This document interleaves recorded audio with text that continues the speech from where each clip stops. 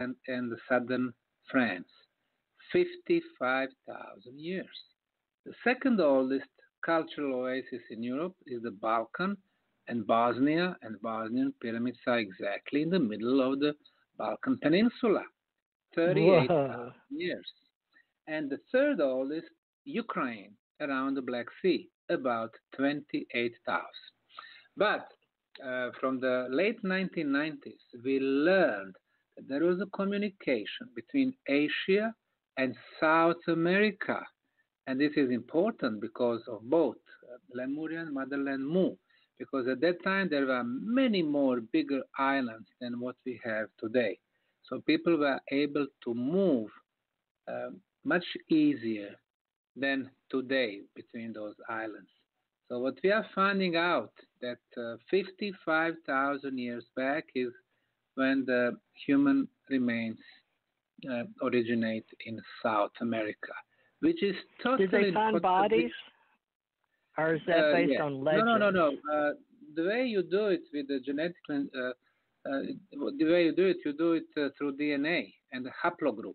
Haplogroups. So basically, descendants, even people who live there now in Peru, Colombia, and those countries, they have this gene. They have you know the haplogroup which we can trace back 55,000 years. And that would be the OMG. That be Is this in Brazil too? Would that yeah, be Brazil? The whole, the whole, the whole southern America. I mean, in Brazil, of course, we have pyramids hidden in Amazon, in the jungles, and I mean, this this country is totally, you know, untouched archaeologically. So, like I said, based on uh, uh, certain scientific research, some geological, some DNA, and some other records, we can be uh, very confident and claim that in last 100,000 years we did have very advanced civilizations. And now we can count Mu. We can count Motherland Mu forward. Motherland Mu, of course, but then I would say it goes even deeper in the past and uh, it is questionable are we talking only about the physical aspect? I would say that was a transition phase when uh, you know our uh, grand grand grandfathers were moving from the spiritual aspect in a lower physical aspects. They wanted to experience the material world through the physical senses. So uh, probably that's the reason why you know you cannot really find any of the physical remains or uh, you know. However uh, pacific is still you know untouched uh, when it comes to very serious uh, archaeological research. Even places like easter island you know the stories that the primitive you know local people from this island were able to move and carve and transport and erect those 375 ton Uh, heads and bodies is of course unbelievable. And they are saying they used only the primitive stone tools. Again, it is impossible to shave those beautiful heads on this island, which is in the middle of nowhere. I mean, we're talking 5,000 kilometers away from South America, 10,000 kilometers away from Tahiti. And then plus, they had the megalithic walls, they have stone spheres, and they have rongorongo writing. I mean, only on this island. All other Pacific islands, you know, they had nothing. So it seemed that that, that uh, it was some kind of the episode. Probably somebody landed there, stayed for some time, and then left. And our planet was that the is giant? full of such. Do you? Hmm?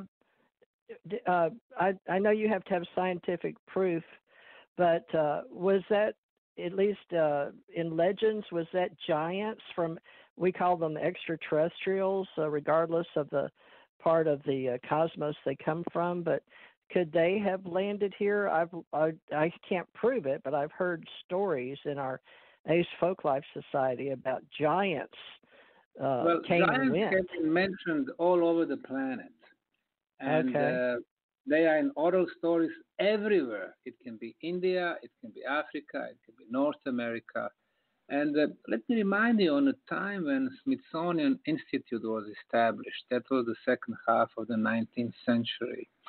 And the first assignment their teams had was to destroy mounds all over the United States of America and uh, get all the artifacts, bodies, bones from out of there. Those mounds, Uh, some of them are very significant in size. We call them in archaeology the tumulus. Now, tumulus is an artificial conical hill. There are thousands of them. Today, there are few of them, and they are, you know, equally significant and impressive. For example, Cahokia National Park in the state of Illinois is a home for more than 120 pyramids. They call them mounds. They're actually pyramids. And uh, I read an interview in, uh, which was published in 1884 in Chicago Tribune, uh, where the journalist was asking the head of the Smithsonian team about their assignments. They said, well, you know, we have to destroy those mounds, we have to retrieve all the archaeological material, get it to Smithsonian. And what happened there? They, it seems that they were finding the bones of those giants because uh, some of them were like 12 feet, 14 feet, or even 20 feet in size. And, uh, you know, today we know nothing about them. And, uh, uh well, isn't that how that... the giants were built in, in Egypt? Those statues are said to be exact replicas of beings. Uh, okay, now this, my... okay this, uh-huh. this is a very good question. I will answer that question also. Let me finish with the Smithsonian.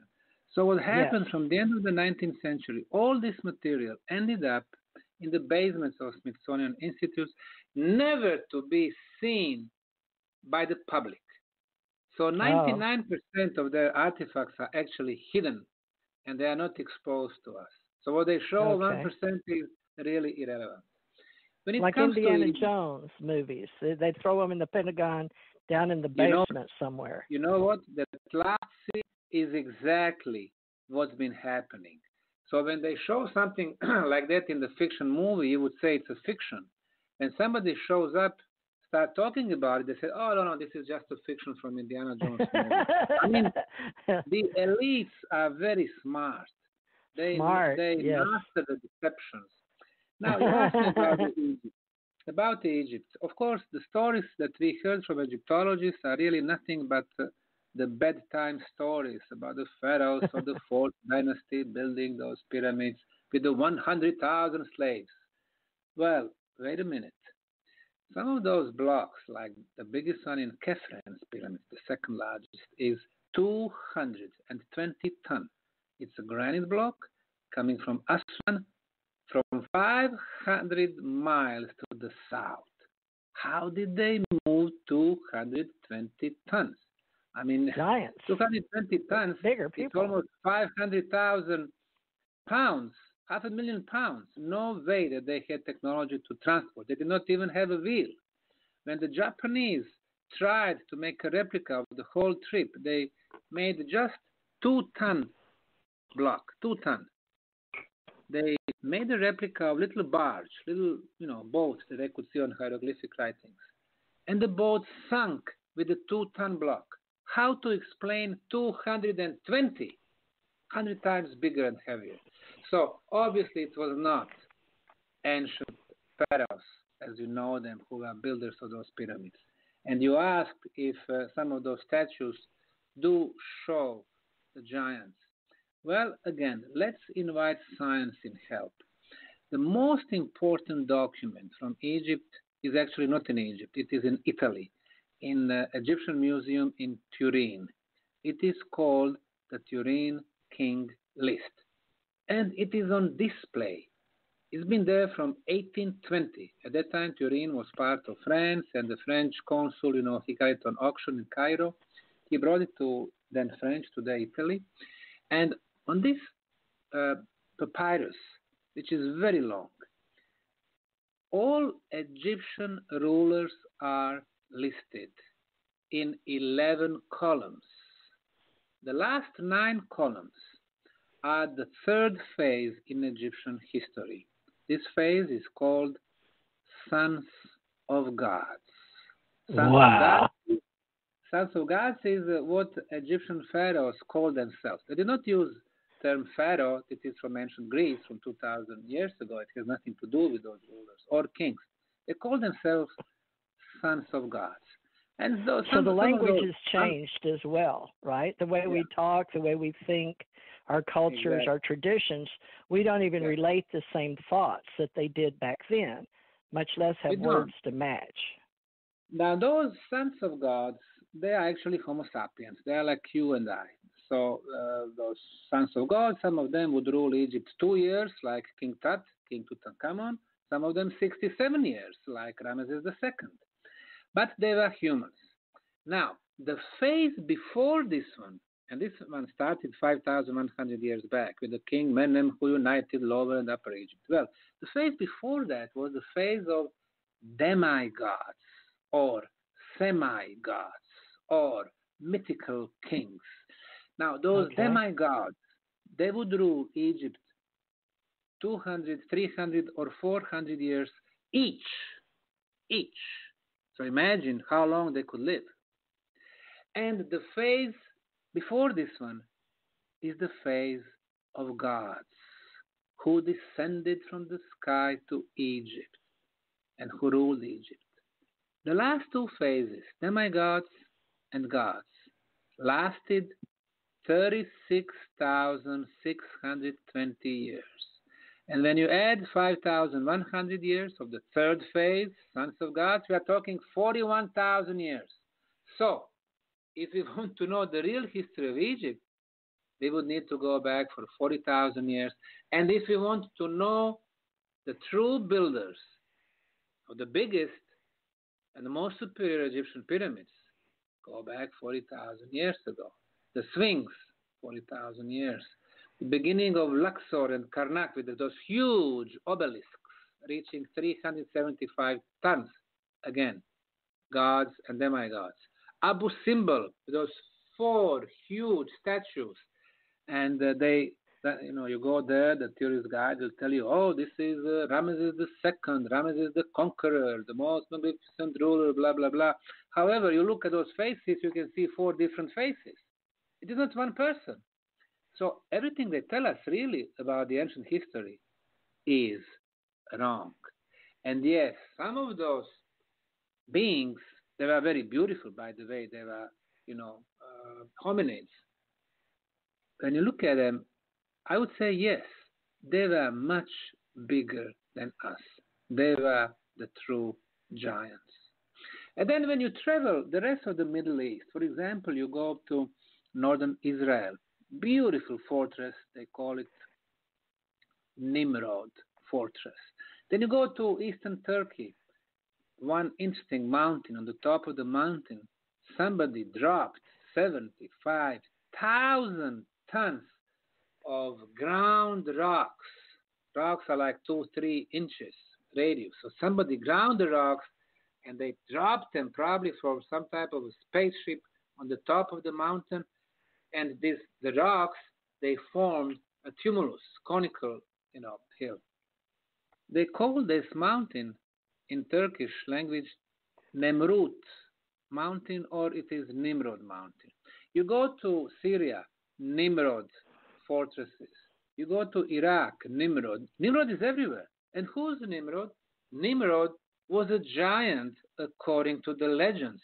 So it was a person, a man, so big, so powerful, so so it seems that the stories about the giants are omnipresent. I mean, you go to Sardinia in Italy, you go to India, you go to different places. However, there is another extreme, very small people. Now, we know, for example, that uh, in Tibet, it seems that a long time ago, some people landed there, they could not go back to their homes, wherever it was, and uh, they looked like people, like humans, but they were not humans. Or another case, you know, in 1967, the Chinese archaeologist was having a conference in Japan, and he said that 200 pyramids were discovered. He found clay tablets, and then he said that he partially deciphered this clay tablet, and the tablet described a spaceship who, after the cosmic accident, ended up on our planet. It was in irreparable state, They could not repair it. They had to stay on the planet. And they continued the tradition from their